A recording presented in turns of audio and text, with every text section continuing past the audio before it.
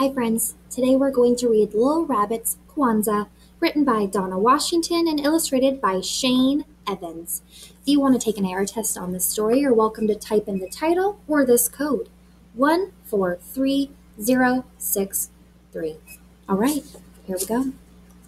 Little Rabbit was not having a very good Kwanzaa. Being the littlest rabbit in the family wasn't easy. He couldn't remember the names of all the days. He wasn't allowed to light the candles. His brothers and sisters made wonderful gifts to share. Little Rabbit was too embarrassed to share his gifts. He hated being the youngest. He was always in the way, and everyone told him he was too little to help. Poor little rabbit. The only part of Kwanzaa that he really loved was the big feast called Karamu. This year he wasn't even going to have that. Grandma Rabbit was sick. She lay in bed all day drinking dandelion tea. Mamma Rabbit was so busy taking care of her, she didn't have time to cook. Mama, if Grandma Rabbit is sick, who will make the feast of Karamu? Little Rabbit asked his mother. Shame on you, Little Rabbit, his mamma said. Grandma Rabbit is sick and all you think about is your stomach. You go outside.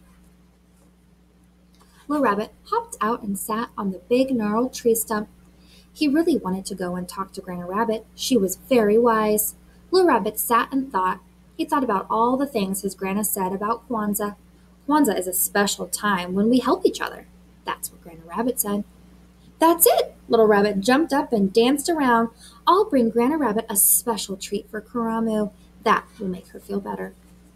Little Rabbit hopped down the road.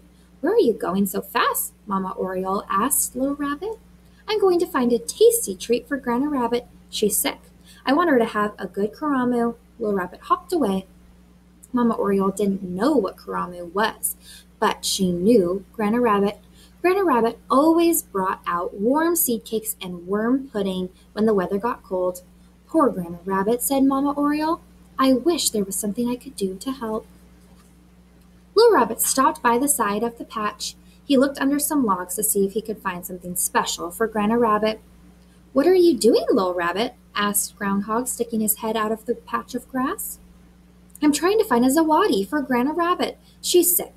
I want her to feel better. Little Rabbit hopped off. Groundhog didn't know what a zawadi was, but he knew Grandma Rabbit. She always had time to make little toys for the animals when they were bored. Poor Grandma Rabbit, said Groundhog. I wish there was something I could do to help. Little Rabbit hopped down to the pond. Maybe he could find something pretty for Grandma Rabbit. What are you doing, Little Rabbit? asked the frogs. I'm looking for something pretty for Grandma Rabbit. She's sick. She should have something pretty to hang on the wall at Kwanzaa time. Little Rabbit scratched an ear and hopped away. The frogs didn't know anything about Kwanzaa time, but they knew Grandma Rabbit. She could paint beautiful pictures and write wonderful poems. Poor Grandma Rabbit, said one of the frogs. I wish there was something we could do to help. Little Rabbit hopped through the field looking for berries. Where are you going, Little Rabbit? Mamma Field Mouse asked. She was dragging all of her children behind her. Grandma Rabbit is sick, said Little Rabbit. I'm going to make sure she has a good karamu. I'm going to find as many berries as I can. Little Rabbit looked proud as he hopped through the meadow. Mamma Field Mouse didn't know anything about karamu, but she knew Grandma Rabbit. Grandma Rabbit helped out with the children when Mamma Field Mouse had to run errands. Poor Grandma Rabbit, said Mamma Field Mouse. I wish there was something I could do to help. Little Rabbit scampered through the trees. Good morning, Little Rabbit, said Papa Squirrel. Where are you sniffing around the trees? I'm looking for something to give Grandma Rabbit. She's sick. I want her to have a good Kwanzaa. Little Rabbit hopped away. Papa Squirrel didn't know anything about Kwanzaa, but he knew Grandma Rabbit. She always helped him gather nuts in the fall. She even helped him remember where he hid them. Poor Grandma Rabbit, said Papa Squirrel. I wish there was something I could do to help. Blue Rabbit spent the whole day trying to find something for Grandma Rabbit. He searched as hard as he could, but he didn't find anything at all. He was very sad. I guess I'm too little to do anything. As the sun was setting, he hopped slowly home. When he opened the door, he had a huge surprise. Can you guess what it is? Everyone was there. Grandma Rabbit was sitting in the big chair with a huge smile on her face. The frogs had brought pink flowers from the lily pads. Mama and Papa Spider hung them from the ceiling like lanterns. Mama Oriole was conducting a fine chorus of birds. Groundhog brought little toys and gifts for everyone. Mamma Field Mouse had gotten together with Mamma Possum and Mamma Raccoon to make a delicious feast. The air was full of excitement. Mamma Rabbit served the plates, and Little Rabbit ate until he thought he would burst. After that, Papa Rabbit told funny stories about Brer Rabbit, Anansi the spider. Hey, we know that story. Guinea Fowl and Mosquito.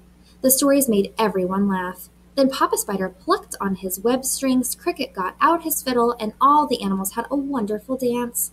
Granny Rabbit taught everyone a new word. Harambee! she called out as her friends danced. It means let's pull together. We don't need anyone to tell us that, said Papa Squirrel. We already pulled together. Everyone laughed and shouted, Harambee! Harambee! Harambee! When the karamu was over, Little Rabbit sat with his grandma in the big chair.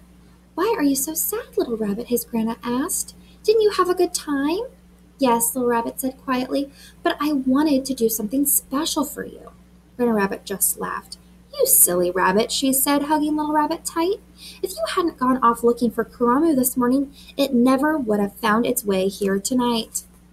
Little Rabbit frowned. But I'm the only one who didn't have anything to share. His grandma smiled. You shared your dream, little rabbit, and your dream brought all of our friends and neighbors together. That's a big thing. Little Rabbit felt proud. My dream did all of that? Yes, I'm not surprised, though, his grandma said.